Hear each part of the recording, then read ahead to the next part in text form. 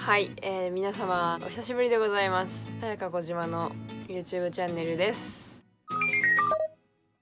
いつもですねあの動画を上げる上げる詐欺と。これからは頻繁に更新します。いっぱい上げるぜ詐欺みたいなので、えー、2019年は2本目の動画となりました。もう2月も半ばを過ぎですね。着々と時間が過ぎている今日この頃だと思うんですけれども。前回あのフューチャーポップのツアーの初日の長野のね話をしたんですよね。で私今回フューチャーポップのツアーはえ長野大阪静岡名古屋名古屋横浜大晦日の横浜と、まあ、7個の公演に参加しまして、まあ、あの長野公演1日目の話を終えてじゃ次はちょっと大阪の話しようかなとか、まあ、その次は静岡その次は名古屋って一個一個の話を、まあ、しようかなっていうプランではいたんですけどそれだとなんかちょっとあんまりにも時間がかかりすぎるということで、まあ、いきなりですが小島がですね今回のツアーで一番印象に残った日の話をしたいなと思います。でその前にですねちょっと前回の動画で気になる質問をいただきましてですねあコメントでね。でそれをちょっとにお答えするっていうのをちょっとまず最初にしたいなと思います。前回の動画に、えー、小島さんに質問なんですけどえー、私は、S、FP ツアーの9月30日の大阪2日目参戦予定で、えー、3月7日に振り替えになりました。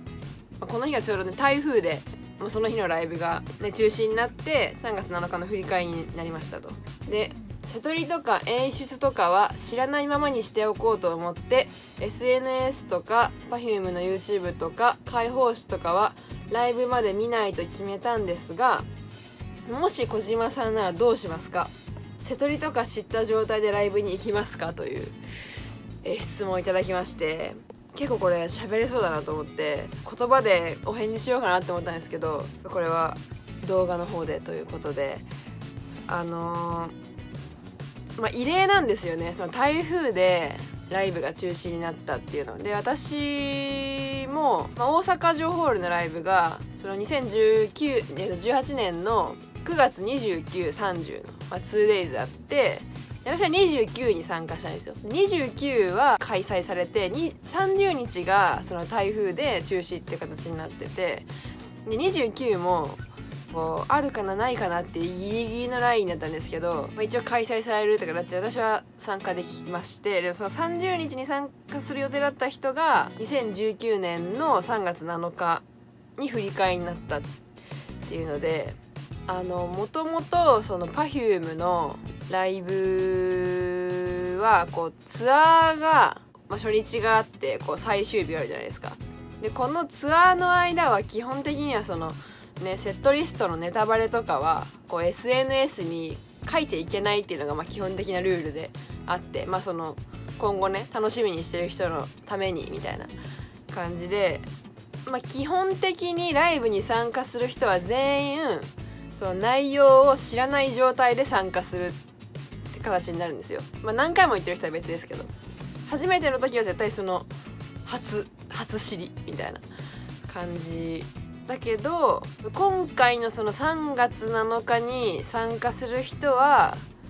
まあ、異例でそのネタバレが解禁されてますよって状態でもガンガンセットリストとかもいろんなところで情報が出てる上でのそのツアーのライブ。ってことでそのやっぱセットリストとかを知ろうと思えばいくらでも知れるじゃないですか、まあ、その全く同じ構成でやるとは限らないとは思うんですけど、えー、まあ小島さんだったらどうしますかという質問で私だったらえっとネタバレが解禁されている状態で、えー、ツアーのライブを見ることができるっていうのがそもそも今回ぐらいしかないだろうなと思って逆にネタバレを完全に見ていくかもしれない。ネタバレされた状態で初めて見るっていうことが今後できないかもしれないからってことなんですね。まあ、でもやっぱり普通に楽しみたいというかそんななんか特殊な経験じゃないですけどなんかなんかするより普通に楽しみたいよって場合はやっぱり情報は全部シャットダウンしてその日で初めて体感するっていうのが一番いいかなとは思うんですけど、まあ、私はなんかこうネタにしたいみたいなところがあったりするのでまあガンガンネタバレされた状態で全部知った上でいくっていうのもそれそのそれで感じたこととかを話すかなとは思うんですけど、まあ、基本的に私もあのネタバレとかめちゃくちゃされたくないタイプなので、まあ、普通まあ YouTube とかなんかやってなかったらネタバレなしでいくかなと思いますというね。はい。まあそんな感じですね。なんでちょっと質問ありがとうございます。ちょっとこの動画見てくれるか分かんないけど。はい、まあ、今回の FP ツアー私小島が一番心を動かされたライブはやっぱりあの大晦日の日ですね。でしかもその大晦日の日は「紅白歌合戦」の中継とちょっとこう時間が空いてそのカウントダウンライブっていうそのなんか2つ2つあってその日にで私はどちらかというと「紅白歌合戦」の方がめちゃめちゃテンション上がりましたね。一番今回のツアーだかツアーツアーとはまた別な枠になっちゃうんだけどなんだかんだで「紅白」の時間が一番燃えたんですね。それは何でかっていうと今回その、まあ、複数回ツアーのライブをに参加していく中でなんだろうなお客さんのなんかエネルギーというかこう Perfume に向けるその声援とか熱量みたいなものがなんか今一つだなっていう印象がなんとなくあったんですよ。でもこれってでも別に例年と変わらないはずなんだけどみんな普通に盛り上がってるしなんかそんな大差ないはずなんだけどなんでこんな若干テンションが落ち気味に見えるんだろうなっていう疑問はずっと感じてて。でもなんか私がなんか私の心が冷めてしまったのだろうかみたいな心配もしたんですけどなんか全体的なテンション低いなどうなんだろうなって思いながらまあいいやって思いながらこうイエーイってやっててでこういざ、まあ、大晦日の,、まあその「紅白歌合戦」の中継やるよってなった時に会場は横浜アリーナで行われたんですけどそのまあ全員 PTA ファンクラブ会員っていう中でもう中継しますよってなってものすごいこう声援が巻き起こるわけじゃないですか。でその時にあのまあ、やっぱさすが全員ファンクラブ会員だなっていうだけあるんですけどもうその声量がもう他のツアーの他のライブとはもうもう段違いでうわーみたいなうおーってなっててでそのお客さんの声で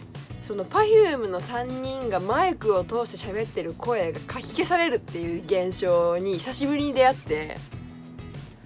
あこれだってなったんですよ。またねなんかこの熱その Perfume に対すに向かっていくその全員のその、まあ、声でぶつけるそのエネルギーがもう本当にもう何て言うんだろうねものすごくて。私そのなんかライブってそのなんか3人のパフォーマンスとかそのチーム Perfume のこの演出でこうガンガンガンガンこう来るじゃないですか。それにこう立ち向かってもうなんかもう3人にもわーって集中してもうあの負けねえぞっていうののこのエネルギーのぶつけ合いがもうライブだなっていうのを多分ずっと感じててそれが面白くて楽しくてこうライブに行くみたいなところがずっとあったんですけど久しぶりになんかそれ自分が求めてたそのなんか白熱した感じがその会場で巻き起こってこれはって思って会場のそのモニターで「その紅白」の中継がそのまま流れててでその生き物係の曲とかで「ジョイフル」とかでこうタオル振り回すやつとかもそのなんか、まあ、みんな Perfume ファンなんですけどその生き物の中の曲にもこうみんなで乗ってとかなんかその会場の一体感がもうなんか最初からすごくて。でその「紅白の」その本番を迎える前にその一回その本当に「紅白」と全く同じようにリハーサルやりますって言って一回リハーサルしたんですよ。その時にこのこのタイミングこの暗くなったこのタイミングでこうみんなが声出してくれればその曲が始まるちょっと前のこの間でこうみんなの声がこうテレビの生放送に乗るるこのこの時間内だけかもしれないけどここでみんながどれだけ盛り上がってるかがこうテレビの向こう側に伝わるからそこみんなで伝えようぜみたいな。なんかファンクラブ会員がこんだけ熱があるってことをそのもうお茶の間に伝えようぜみたいなやつでもイエーイってなってて。でもそのなんかもうみんなでその Perfume のその時間を